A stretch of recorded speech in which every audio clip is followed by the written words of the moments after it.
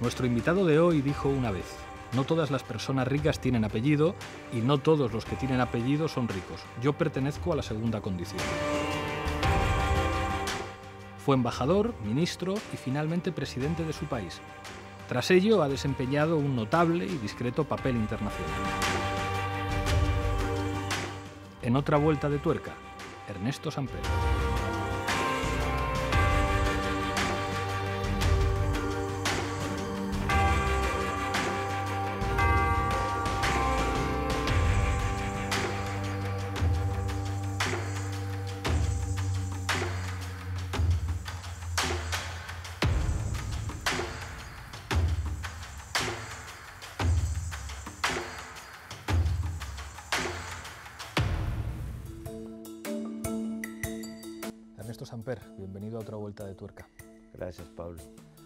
Este programa nos gusta mucho el psicoanálisis y siempre preguntamos a nuestros invitados por su infancia.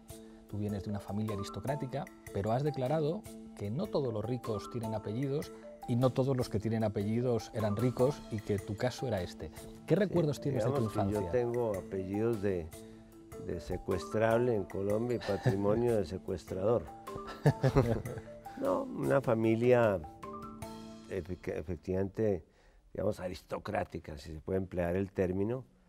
Eh, mis, eh, mis antepasados fundaron empresas como la empresa de energía, la empresa de cementos, que de alguna manera transformó la, la vida urbana.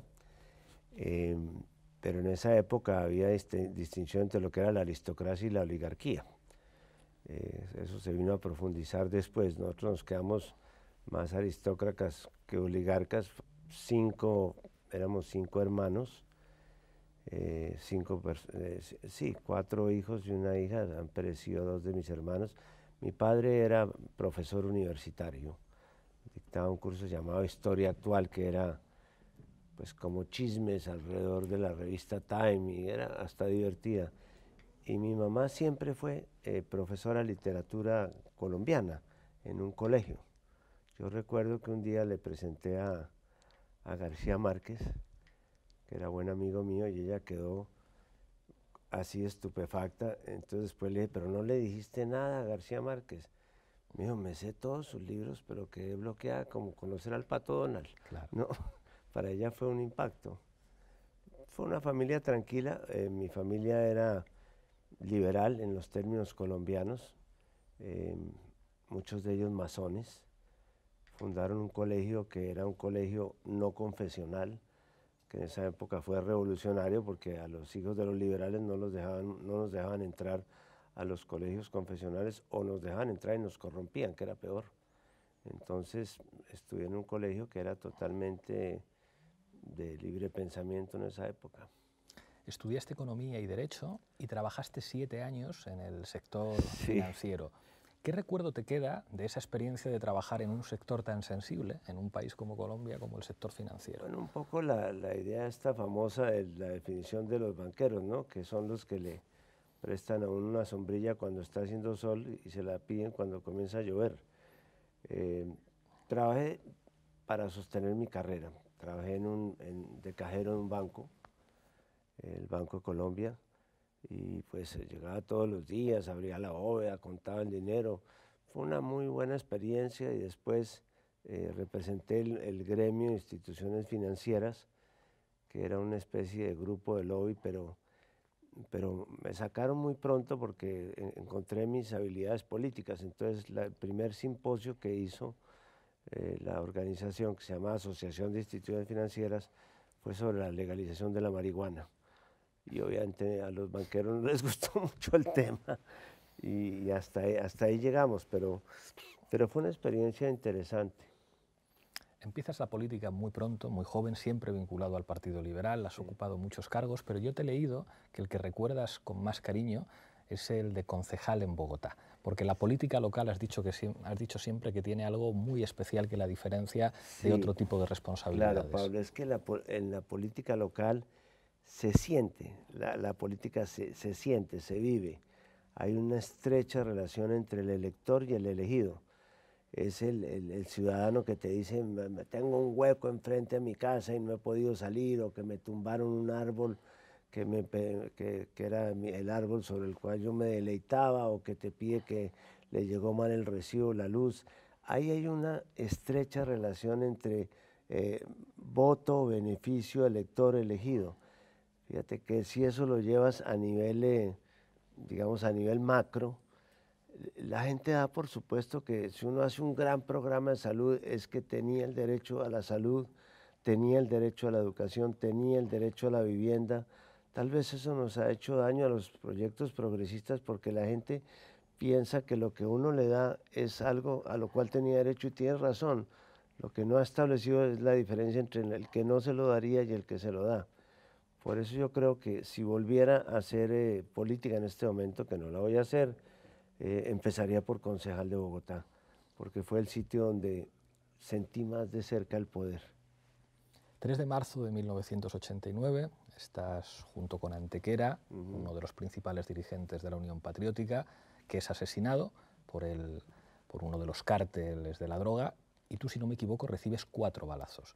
Te quiero preguntar por esa experiencia de estar, eh, ser víctima de un atentado y por lo que significó el exterminio de los dirigentes de la Unión Patriótica como algo que que puso fin a la posibilidad de que el proyecto político de las FARC no se expresara en términos armados y se expresara en términos estrictamente políticos. Fue la época más dura de la política colombiana, la época del, narcoterrorismo. Pablo Escobar, eh, eh, la gente del Magdalena Medio, paramilitares. Yo aparecía en una lista de figuras progresistas que podían ser conseguidas como objetivos militares. Llegué al aeropuerto, saludé a Antequera, que era dirigente de la Juventud Comunista. Él me dijo que se iba a la casa de su madre, que era el único sitio donde se sentía seguro. Estábamos en el aeropuerto El Dorado. Eh, sentimos unas ráfagas y lo primero que yo vi es que estaba en el suelo y, Pablo, y Antequera tenía un hilo de sangre. Había perecido automáticamente y a mí me metieron 13 tiros. Tres. 13. 13 tiros. Y gracias a mi mujer que me llevó rápidamente a una clínica, yo llegué a una clínica a los 17 minutos y me quedaban 4 minutos de sangre. Me estaba desangrando por dentro. Viví una lucha dura un par de meses entre la vida y la muerte, alcancé a desprenderme de mi cuerpo, vivir sensaciones, digamos, como del más allá que no eran del más acá. Eh, entendí que la muerte no era algo angustioso. Me sentí en algún momento que mi padre me ha dicho que cuando se iba a morir mi abuelo, él lo había visto que lo estaba llamando desde una colina para que se fuera. Yo vi a mi padre y a mi abuelo llamándome desde la colina. Yo dije, me voy, me fui. Por fortuna logré sobrevivir. Tengo todavía cuatro balas en mi cuerpo, por lo cual en Colombia dicen que soy el, el político más aplomado, más aplomado. Eh, lo curioso de todo eso es que ahora se ha visto a, saber, esto tal vez no lo nunca lo he comentado públicamente por lo reciente, y es que eh, los que nos dispararon no eran, como se pensaba, sicarios contratados por los paramilitares, sino eran agentes de seguridad del Estado colombiano, que le dispararon por detrás a Antequera, y eso explica por qué a mí me metieron 13 tiros y no me morí, porque seguramente pasaron primero por el cuerpo de Antequera. Fue una época muy difícil, Pablo. Yo, en esa campaña que hice yo, éramos seis y, asesinaron a cuatro. Bueno, a, mí, a cuatro y medio, porque a mí me dejaron medio muerto. Pero ahí pereció Carlos Pizarro, Bernardo Jaramillo, eh, Luis Carlos Galán, Jaime Pardo Leal. Y fue un momento muy duro porque en ese momento la Unión Patriótica, que era como el brazo político de la FARC, que estaba incursionando, digamos, en la política, se dieron cuenta de que, de que no era posible por la vía democrática y que había que volver a la lucha armada, que, que sacrifiquen 1.600 millones de, perdón, 1.600 personas, como sacrificaban de la Unión Patriótica fue un genocidio realmente, una época muy dura. Nosotros no hacíamos la política en, las plazas públicas, la hacíamos en los cementerios. Yo enterré a todos mis amigos por cuenta de la violencia. En el 94 ganas las elecciones Andrés Pastrana, serás presidente de Colombia durante cuatro años. La situación política colombiana siempre ha sido difícil, siempre ha estado marcada por la violencia política, pero probablemente esos años son muy especiales en la intensidad del conflicto político, de la presencia política eh, del narco, en el intervencionismo de los Estados Unidos en la política colombiana. Sé que no es fácil hacer un balance de cuatro años de presidencia, pero digamos, ¿cuáles serían las líneas con las que describirías tu experiencia como presidente de la República? Mira, fundamentalmente yo creo que una, la llamé el salto social. Creo que fui el último presidente eh, en Colombia elegido con, con, los votos de un solo partido, que era el Partido Liberal, que de alguna manera es una especie de partido, partido socialdemócrata en términos latinoamericanos, no, no es liberal en términos europeos. Yo me propuse hacer un gobierno social, dupliqué la inversión social, eh, conseguí mecanismos de focalización para temas como el de la salud que me permitieron ampliar la cobertura de salud de, de 8 millones a 18 millones de personas. Eh, programas para la gente de mayor de edad, una red de solidaridad para poder eh, apoyar a los sectores de manera focalizada, sustitución social de cultivos ilícitos, fumigar cultivos como lo pretende ahora volver a hacer el gobierno del presidente Duque, eso es una locura porque es poner de carne de cañón a los campesinos frente a los carteles de la droga. Eh, si, si por algo quisiera ser recordado, sería por haber sido un presidente social, en, los términos de que para mí en los temas sociales fueron como el eje rector del gobierno. Por supuesto con muchas dificultades, eh, incomprensión con los Estados Unidos. Los Estados Unidos hacen unos esfuerzos imposibles y sistemáticos por hacerse odiar, ¿no? Es, es impresionante, como lo estamos viendo ahora con el tema de, Venezuela y el manejo de la política frente a América Latina, eh, es, un, es, un, gigante detestable, detestable y, y, de alguna manera disfruta haciéndose, haciéndose odiar, ¿no? Y tuve muchas dificultades con ellos, muchas dificultades que venían de tiempo atrás, quizás porque yo era inocente tal vez, no, no, no tenía nada que negociar con ellos, quizás por eso eh, fue tan dura la relación. ¿Hay algo que han puesto las series de televisión de moda en los últimos tiempos. Escobar, el platón del mal, que es una serie que, me llamó mucho la atención, con, una estética de telenovela que la hacía muy adictiva y muy auténtica. Narcos, o una serie española, gallega de hace poco, Fariña, que ha puesto muy de moda lo que significaba también en términos políticos el narcotráfico en, Colombia. ¿Cómo explicarías a un extranjero, eh, a un español o a un latinoamericano digamos, con cierta distancia respecto a Colombia, lo que ha significado y lo que incluso significa el narco para entender la política colombiana. Mira, en términos objetivos, el narcotráfico ha estado presente en, en, las distintas formas de violencia armada en Colombia en los últimos 30 o 40 años. Si las cosas en Colombia hubieran sucedido como sucedieron en Centroamérica cuando lo que se necesitó al final fue una ayudita financiera para sostener la desmovilización de los efectivos guerrilleros, nosotros habríamos salido del problema del conflicto armado de hace muchos años. Pero precisamente en el momento en que se comenzaba a acabar el tema de la Guerra Fría, en que el mismo Fidel Castro decía que ya no tenía sentido la lucha armada, que estaba deslegitimado como procedimiento, como combinación las formas de lucha, para llegar al poder, en ese momento aparece el narcotráfico en Colombia. Y aparece al principio con la marihuana, después la coca, la cocaína, finalmente nos metimos con la amapola, la heroína, y, ese, esos mismos carteles comienzan a comprar seguridad. Y entonces tienen, le compran seguridad a las FARC, las FARC les da protección a los cultivos, les, de alguna manera les facilita la compra de los de las, de las drogas vegetales, pero también financian ya con un propósito distinto los grupos paramilitares. Y ahí es donde comienza de verdad el, el conflicto armado, cuando los grupos militares financiados por el narcotráfico asumen casi que ideológicamente una posición de lucha contra la guerrilla y en eso se mete Estados Unidos, que un poco interfiere Estados Unidos para ponerse del lado de la lucha contra la narcoguerrilla con claros propósitos ideológicos. Y aquí mato dos pájaros de un tiro. Los narcotraficantes que me están envenenando a mis muchachos arriba, porque esa es la percepción que existe en Estados Unidos, y de paso, pues también le doy a estos comunistas. Eso, eso creó un círculo que todavía hoy, Pablo, porque nosotros hicimos un acuerdo de paz recientemente en, Colombia, pero, pero, pero está vivo. digamos, tenemos como unos leños todavía calientes que se pueden apagar o con gasolina, que es lo que yo creo que está haciendo el presidente Duque, tratando de apagar esos leños con gasolina, o con agua. Pero todavía están ahí los, los leños ardientes de la violencia y los está financiando el narcotráfico.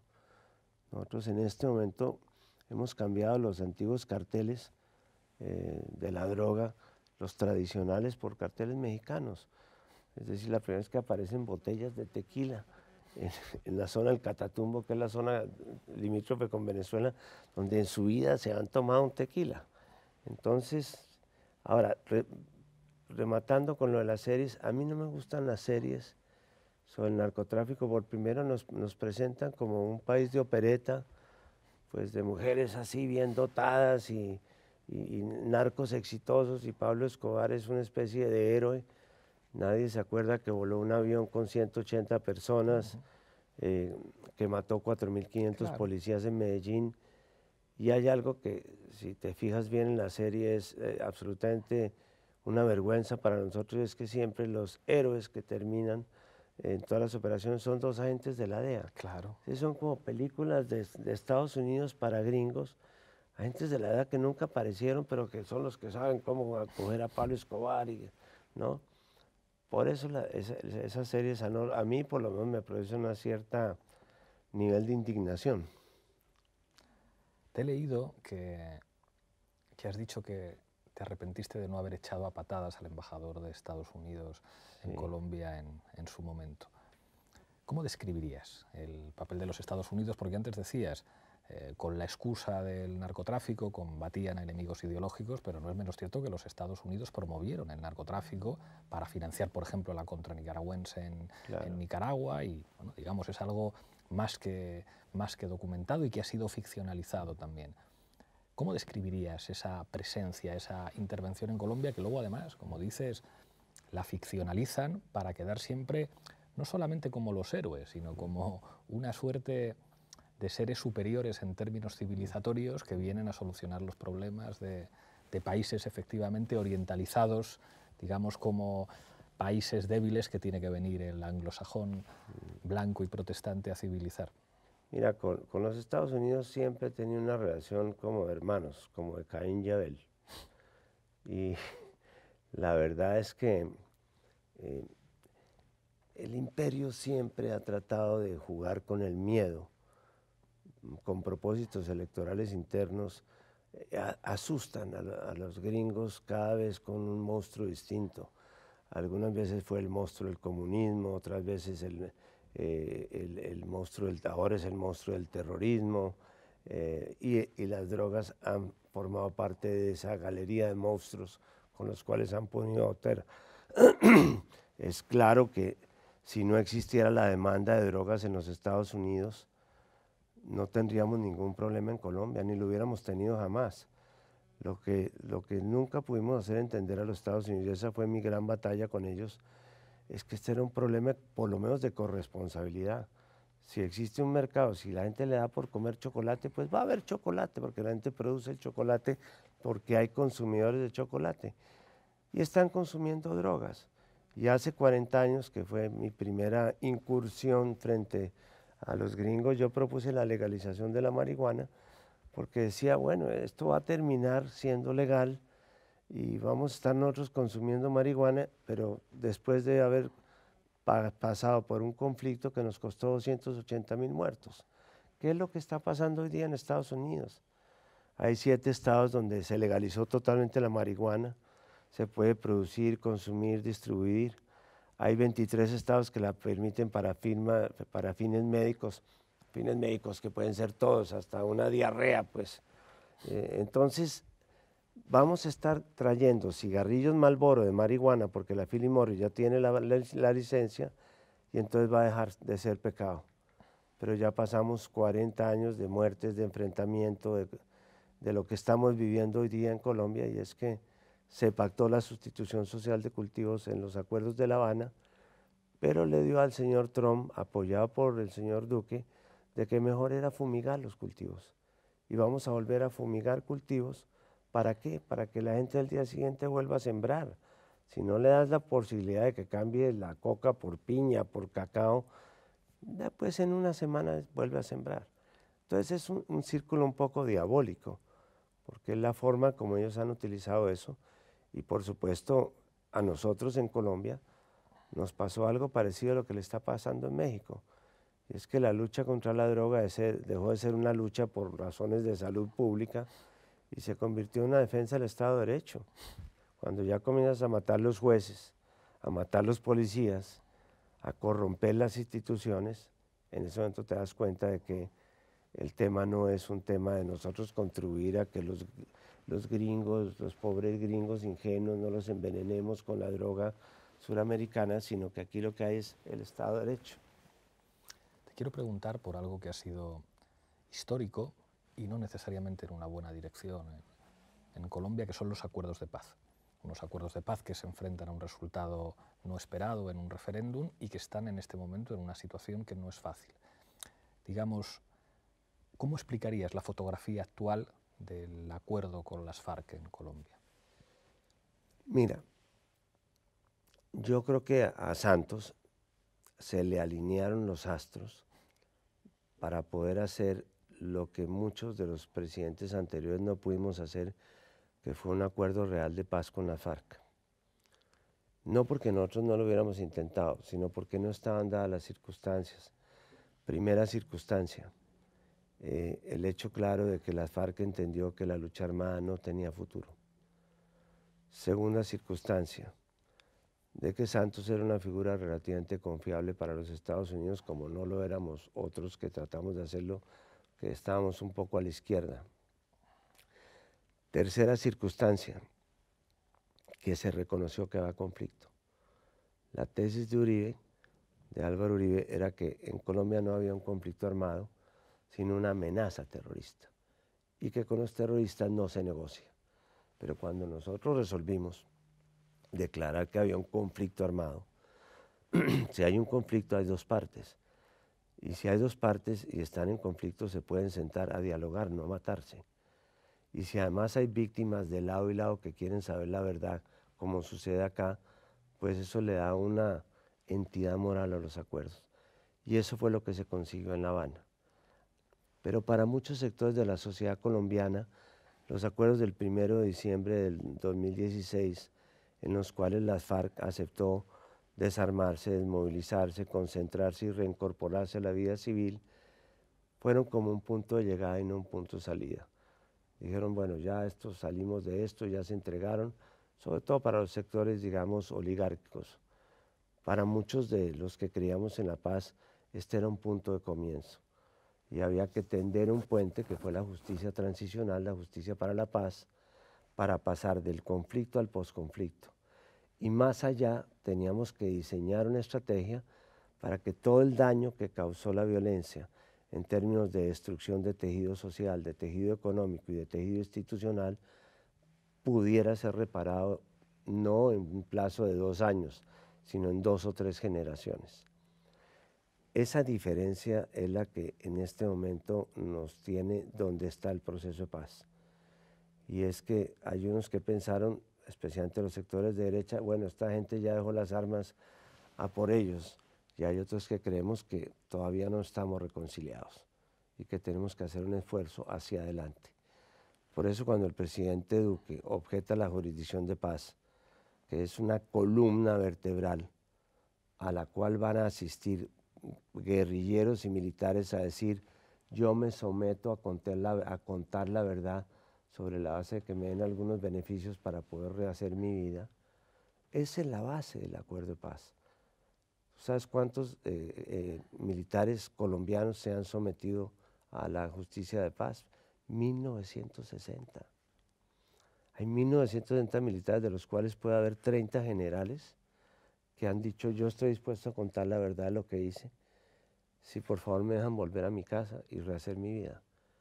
Y hay 9.500 guerrilleros. Por eso que el presidente objete la ley que crea la jurisdicción de paz es un golpe muy duro. Como fue duro el tema del ELN, si quieres... el ELN es una guerrilla con características muy diferentes, a, las FARC, con una presencia urbana mayor. Sí, las FARC era rural, el ELN es urbano, eh, las FARC eran, tenían un esquema estalinista, una estructura estalinista, el ELN una estructura bastante federal. Eh, los unos nacieron de las guerras petroleras, los otros nacieron de las guerras campesinas. Pero el ELN, cuando se fue Santos, y yo lo acompañé durante ese proceso desde UNASUR, tenía un acuerdo, una propuesta de acuerdo bilateral de cese al fuego, que es, como tú sabes, el primer paso para entrar a la puerta grande de la paz. Y durante seis meses Duque lo tuvo en Cuba a los siete comandantes del ELN históricos, los tuvo sin un mensaje, sin aceptarles una conversación, sin sentarse a dialogar con ellos. Perdió la oportunidad, una oportunidad histórica para haber terminado el proceso de paz que comenzó con la FARC y debía terminar con el ELN. Porque ¿qué es lo que está pasando en este momento? Que el, conflicto se está reactivando. En, cuatro o cinco zonas del país, en, el Chocó, en el Putumayo, zonas que de golpe tú conoces, en el Catatumbo, ¿qué es lo que hay allí? Hay presencia de carteles mexicanos, disidencias de las FARC, no muchas, pero que estaban dedicadas al tema narcotráfico y se quedaron en eso. Y el ELN, lo que es previsible es que esas fuerzas se puedan rearticular hacer un acuerdo de trabajo conjunto y en cinco años volveríamos a tener un conflicto de carácter nacional, que sería lamentable para Colombia. En estos cuatro años, en estos cuatro años, Pablo, que llevamos de acuerdos de paz, nos hemos economizado cinco mil víctimas mortales. Las minas antipersonas que le volaban las piernas a razón de dos por día a campesinos, a soldados, a guerrilleros, hoy día están reducidas a 20 por año. Se acabó el delito del secuestro. El hospital militar no tiene nada que hacer. El hospital militar vivía con 1.300 heridos de guerra. Hoy día está encontrando otras actividades. Nosotros nos asomamos a la paz, respiramos lo que era eso. Yo no había conocido la paz, yo hice política toda la vida en medio del conflicto. Ya estoy saliendo, pero he podido respirar lo que es vivir en un país en paz. Hay una figura política en Colombia que me fascina por su carácter abyecto, que es Álvaro Uribe, vinculado al narcotráfico, vinculado al paramilitarismo, pero cuya personalidad ha sido definitoria de la política colombiana y lo sigue siendo. O sea, la sombra de Uribe, de Uribe sigue definiendo buena parte de las claves de la política colombiana y probablemente haya sido un precursor del éxito político de otras figuras de la extrema derecha en otros países. Sé que la pregunta no es fácil, pero ¿cómo se puede entender eh, que alguien como, como Álvaro Uribe se convirtiera en una figura tan central en la política colombiana? La coyuntura. Yo lo conozco bien. Al, principio hizo política conmigo cuando trabajaba, cuando, estaba, cuando era bueno, digamos. A él realmente lo marcó mucho el asesinato del padre por parte de las FARC y cuando fue gobernador él asumió ya un rol totalmente distinto al que ha tenido hasta entonces, que era un rol más liberal y permisivo. Y poco a poco se fue convirtiendo en el, líder de la derecha. En momentos en que eh, Pastrana estaba dejando, porque el gobierno de Pastrana fue como una especie de gran hueco negro, ¿no? Eh, le naufragó el proceso de paz que fue un proceso que llegó bastante lejos. Cuando le naufraga el proceso de paz, eh, la gente se decepciona, aparece Uribe como el gladiador de la derecha y dice, no, es que aquí la cosa es a bala, A esta gente hay que echarle bala y hay que destruirlos y hay que derrotarlos para poder negociar con ellos. Y la gente se va toda detrás de él, se va toda detrás de él. Pero cuando hemos visto lo que ha sucedido por cuenta de ese esquema de guerra-muerte, de entender que aquí lo que había era una amenaza terrorista y no un conflicto, que es lo que después se vino a consagrar, pues eh, la gente se da cuenta de que es peor el remedio que la enfermedad. Y ahí es donde salta a apoyar la, propuesta de, Santos, que no llega como un pacifista a su primer gobierno, sino llega como el ministro de Defensa de Uribe duro, pero por fortuna da una vuelta o, hace un acto de lealtad con Uribe en, buena hora y dice, no, aquí el tema es la paz. Y el país se va detrás de la paz. Y Uribe sigue siendo, ha ido decayendo un poco, pero es obvio que este papel que está jugando con Duque, que es una especie de, de ministro, de, presidente en cuerpo ajeno, Duque de alguna manera es una especie de eco de Uribe, en ese momento está, ha recuperado obviamente su imagen y ha recuperado su capacidad de hacer daño. Eh, muchos pensamos con Duque, que era, no sé si lo conoces, personalmente. Una persona joven, convocante, el, el, primer día dijo voy a hacer un acuerdo nacional porque esta polarización no puede seguir en esos términos. Muchos, los que estuvimos con la opción de paz, que en ese momento representaba Petro, pensamos, sí, es, verdad, ¿por qué no hacemos un acuerdo para sostener los acuerdos de La Habana y, para seguir con lo del ELN? Y si hay que hacer reformas, las hacemos. Lamentablemente nunca lo hizo Duque. Eh, él, encontró un nicho de opinión propia en la forma como ha manejado, el tema de Venezuela, que a mí me ha parecido realmente temerario temerario porque nuestra relación con Venezuela no es una relación como la que puede tener Paraguay o Chile, que ahora están presumiendo pues de que son los libertadores de Venezuela. Nosotros tenemos 3.000 kilómetros de frontera con Venezuela. Hay 2 millones de colombianos todavía viviendo en Venezuela. Tenemos 2 millones de venezolanos viviendo en Colombia. Y uno no puede manejar las relaciones con los falsos positivos que armaron, como la ayuda humanitaria en Cúcuta, que fue un desastre y que para lo único que sirvió fue para dejar cerradas las fronteras. Eso, ahí no fue un falso positivo, sino un falso negativo, Pablo, porque lo que pensaban era crear una situación de desorden y con eso legitimar una intervención militar. Después te preguntaré por Venezuela y por, la, por las posibilidades y por la inminencia de una intervención militar patrocinada por Estados Unidos, pero antes te quiero preguntar por la situación de la izquierda electoral en Colombia. Da la impresión de que el bipartidismo que se sostenía sobre la tradición liberal y conservadora en Colombia, si no ha llegado a su fin, por lo menos se ha redefinido mucho. Y yo creo que el resultado de Petro fue muy esperanzador para muchos sectores en la izquierda en Colombia. ¿Qué futuro electoral le auguras a la nueva izquierda colombiana? es una buena pregunta. Mira, primero, sí es un hecho significativo que en las primeras elecciones que se hacen, en la cual no existe la confusión inteligentemente manejada por la derecha, de que hay una combinación de las formas de lucha y que está involucrada la, la lucha armada con la lucha electoral, que de alguna manera estigmatizaba el trabajo político de la izquierda, sí es un hecho contundente que eh, el país inmediatamente se desenvolvió en dos bloques, que era un bloque que estaba decididamente a favor de la paz, que se identificaba no solamente con lo que podíamos llamar la izquierda tradicional, sino también eh, una gran cantidad de gente joven y de nuevos electores, y otra gente que estaba con Uribe eh, y, y, con Duque, y que a mi juicio estaba mucho más contra Petro que con Duque, para ser sinceros pero por lo menos hubo dos alternativas, que es donde yo creo que era el momento histórico para que Duque hubiera dicho, bueno, vamos a ponernos de aquí de acuerdo sobre el tema de fondo, que es el tema de la paz.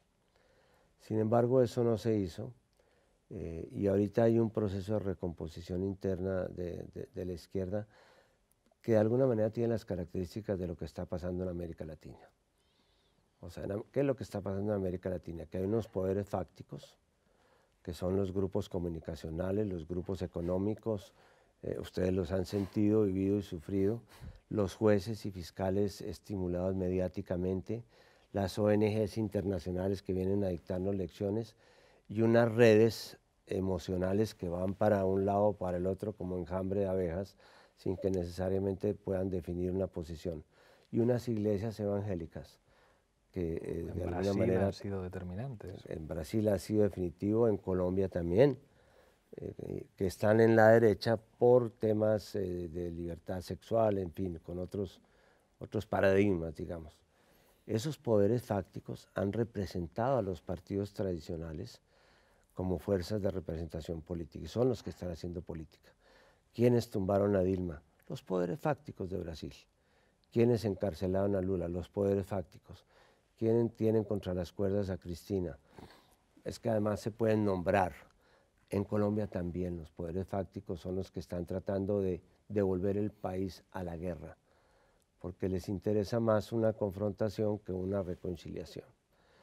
Entonces no somos ajenos a eso que está pasando en América Latina, no somos ajenos. Y ahí obviamente hay una, una confrontación.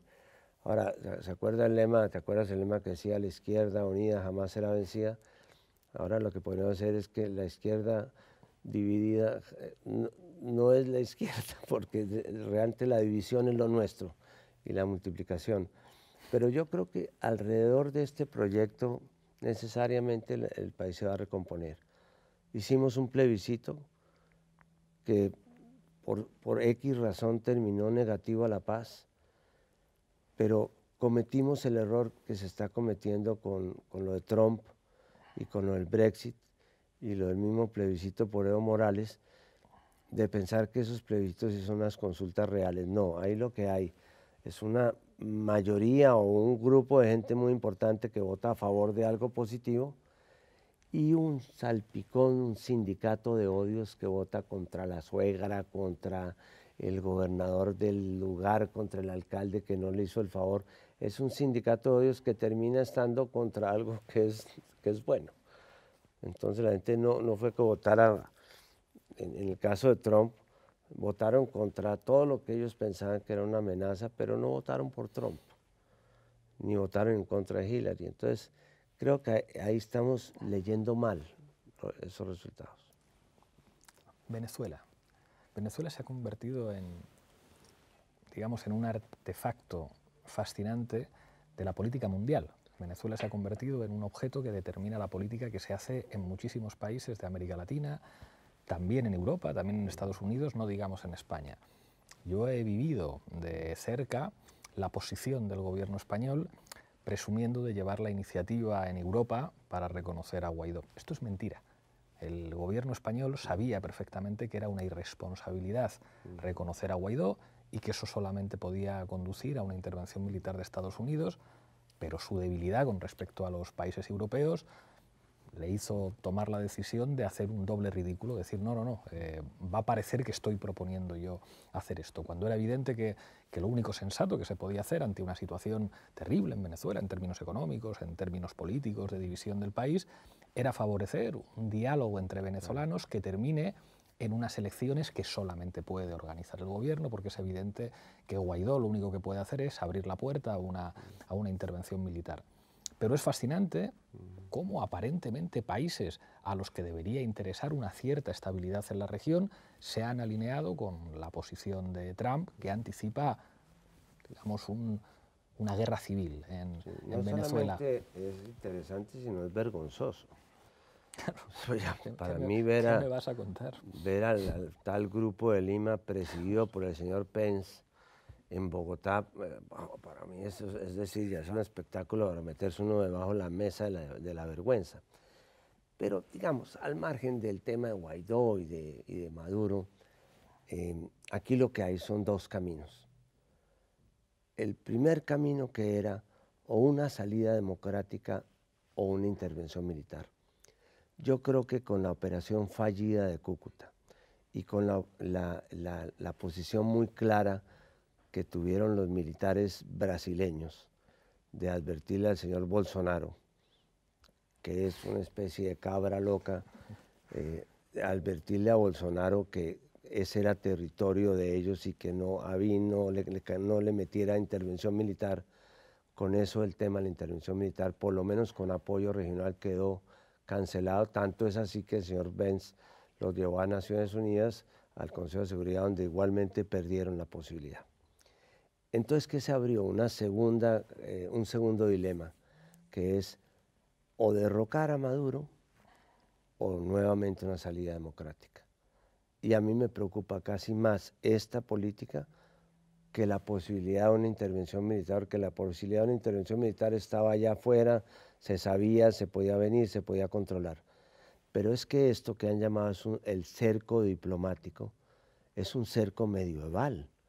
Aquí lo que quieren es rendir al gobierno eh, por el hambre de la gente, por la, es decir, los gestos de la, forma como reciben la, la, jauría de Trump, esta jauría que tiene ahí, eh, eh, porque en el fondo lo que está montando Trump con todo esto es su reelección, no nos engañemos.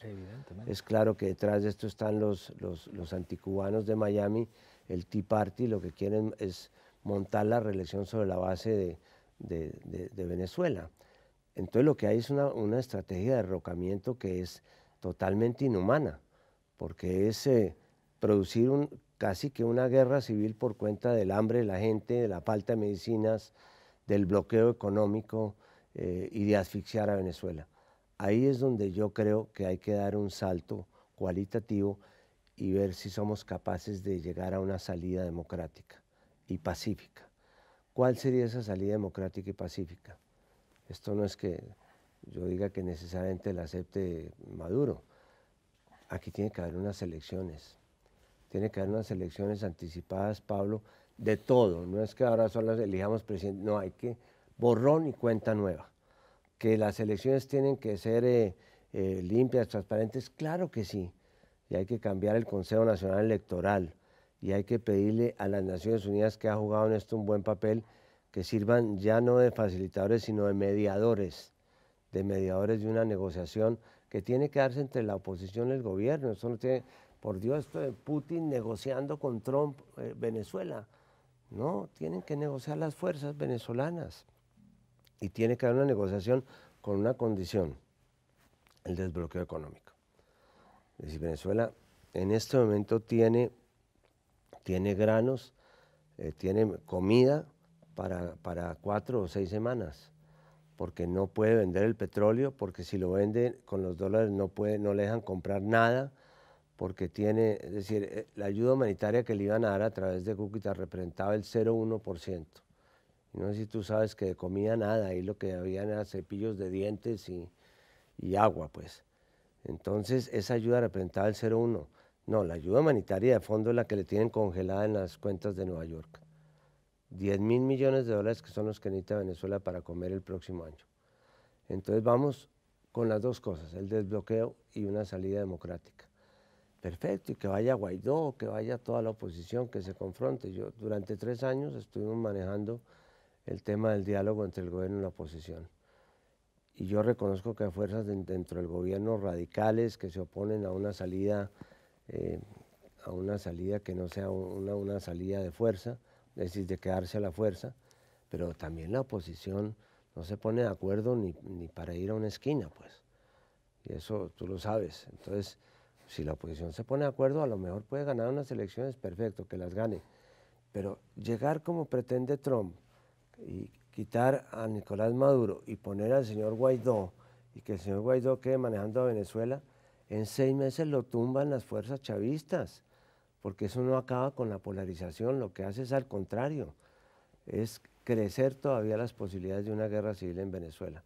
Entonces, hacer algo sensato es unas elecciones anticipadas que se puede hacer en condiciones normales, sin la amenaza del bloqueo económico, y sobre eso hace trabajarlo. Antes de pasar a la rueda de reconocimiento, te quiero preguntar por, dos países eh, de América Latina que están viviendo situaciones históricas muy importantes. Uno es México, con la elección de AMLO, un presidente que, sin embargo, lo comentábamos antes off the record, no está muy interesado en la política internacional y no está muy interesado en viajar. Y por otra parte, Cuba, que está viviendo, digamos, un, proceso en el que la desaparición biológica de, los protagonistas de la revolución cubana está poco a poco teniendo una, traducción política en la configuración del poder en Cuba. ¿Cómo ves el futuro de estos dos países?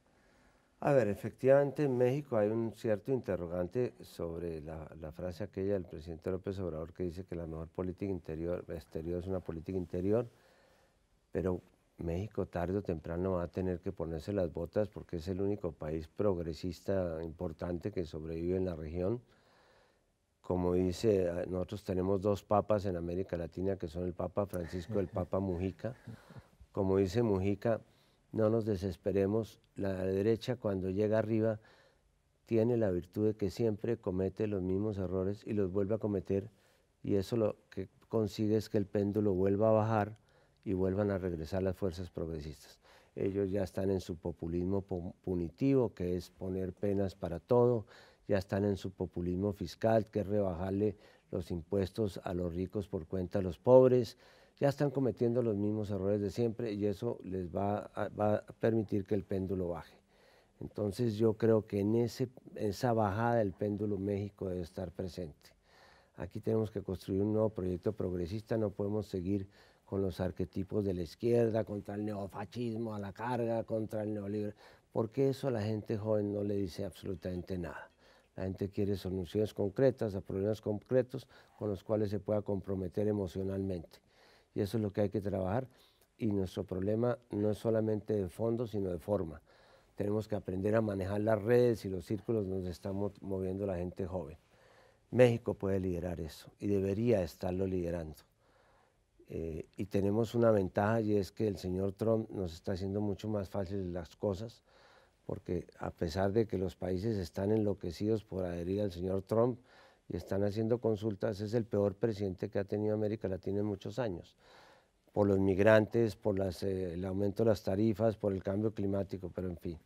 Entonces creo que México puede jugar un papel. Ahora, Cuba, Cuba es un país heroico Realmente lo que ha hecho Cuba es una cosa de un heroísmo, porque bueno, uno en Venezuela dice, estos locos, cómo se gastaron todo este dinero y no hicieron una revolución eh, consumista inclusive. Lo de Cuba es, lo han hecho eh, con mucho trabajo y Obama, no sé si aquí existe la figura, les puso conejo. O sea, Obama hizo unos acuerdos con ellos y Trump los desconoció abiertamente y ahora para acabar de rematar Colombia los está poniendo contra la pared con el tema de que tienen que desconocer los protocolos de ruptura. Por favor, si, Noruega y Cuba desconocen los protocolos según los cuales cuando hay una mesa de negociación y una de las partes eh, no está de acuerdo y se rompe la mesa, la obligación de los países garantes es devolver a la parte al sitio donde estaba. Si eso no se cumple, aquí no va a volver a haber un proceso de negociación en el mundo, jamás. Entonces yo creo que Cuba está saliendo con dificultades, hizo unos esfuerzos para ajustarse a unos términos que ha convenido con Obama que no se los cumplieron, eh, pero sin duda es una revolución que se está renovando. Y la experiencia de Cuba como la experiencia de China indican que los tres ingredientes de, un, de salir adelante en estas condiciones son que haya control político, que haya libertad, eh, que haya eh, apertura económica y que haya inclusión social. Con esos tres elementos creo que se puede avanzar un proyecto positivamente revolucionario. Estamos llegando al final, rueda de reconocimiento. Yo te presento una serie de nombres y te pido que con mucha brevedad me los describas en tres frases. El primero, César Gaviria. Em, inteligente, aunque poco confiable. Andrés Pastrana. No me refiero a él porque yo no sé de fútbol. Álvaro Uribe. Em, obsesivo, efectivo, en un camino equivocado. Juan Manuel Santos. Hábil, em, desleal, em, inteligente. Gustavo Petro. Impredecible, em, brillante, mm, líder. Hugo Chávez. mm, solidario, eh, idealista, mm, poco pragmático. Dilma Rousseff. Hábil, em, una víctima, una víctima muy honesta. Felipe González. Líder del pasado, em, brillante. José Luis Rodríguez Zapatero. Hábil, pragmático, buen amigo. Ya solamente nos queda el cuestionario. ¿Quién ha podido ser un referente político para ti? No sé si lo, conocerán acá, mi, referente político fue Alfonso López Miquelsen, que fue uno de los estadistas más importantes de Colombia, fue presidente. ¿Un maestro o una maestra? Mi mamá, que era maestra, no solamente en el colegio, sino en la casa. Un libro que recomendarías leer a todo el mundo. Ahora, cualquier libro de Harari, de Harari, los empecé a leer porque vi que todos mis hijos lo estaban leyendo y quise saber de qué, de qué nos estaban hablando.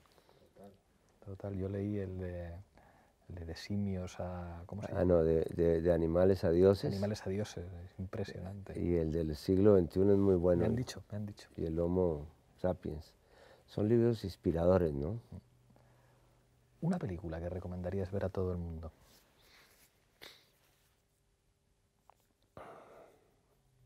El Padrino. Sin la DEA. Una canción que te emocione especialmente. Yolanda. Yolanda de Pablo Milanés. Sí. Ya solo me queda pedirte que agarres la taza de la tuerca con la mano izquierda y mirando esa cámara brindes por lo que quieras. Ah, bueno, así conocí a Evo Morales.